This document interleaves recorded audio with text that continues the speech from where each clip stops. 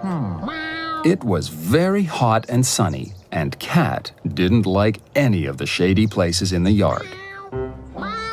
Under the bush was too prickly, and under the car was too smelly.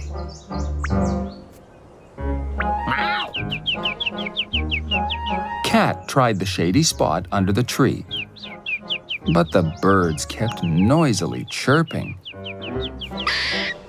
And a squirrel kept dropping acorns on Cat's head.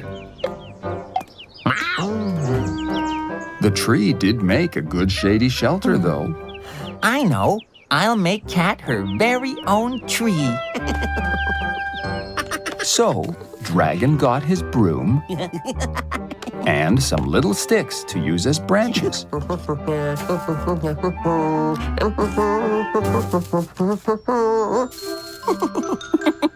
He used his safety scissors to make leaves out of paper and glued them to the branches. There. That looks like a very nice tree. Except, Dragon's tree didn't make very much shade at all. It was too small. Hmm. Hmm. I'll just have to make a bigger tree. Except, Dragon didn't have a bigger broom. Hmm. I'm going to have to think of something cleverer. Dragon decided he would make a nice shady shelter out of his old pizza boxes.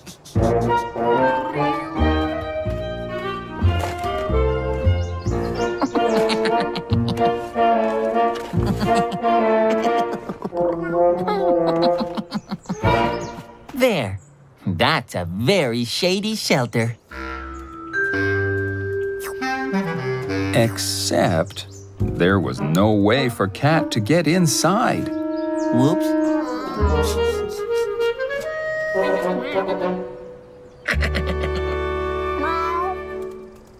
And besides, pizza boxes didn't really make a very strong shady shelter.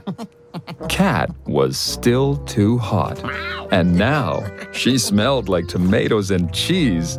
Oh, sorry.